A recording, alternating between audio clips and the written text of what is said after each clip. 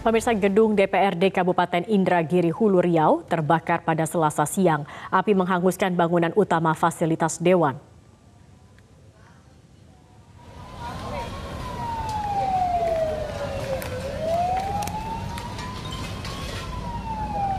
Kebakaran terjadi di gedung DPRD Kabupaten Indragiri Hulu di Jalan Lintas Kelurahan Pematang Reba, Kecamatan Rengat Barat, Riau.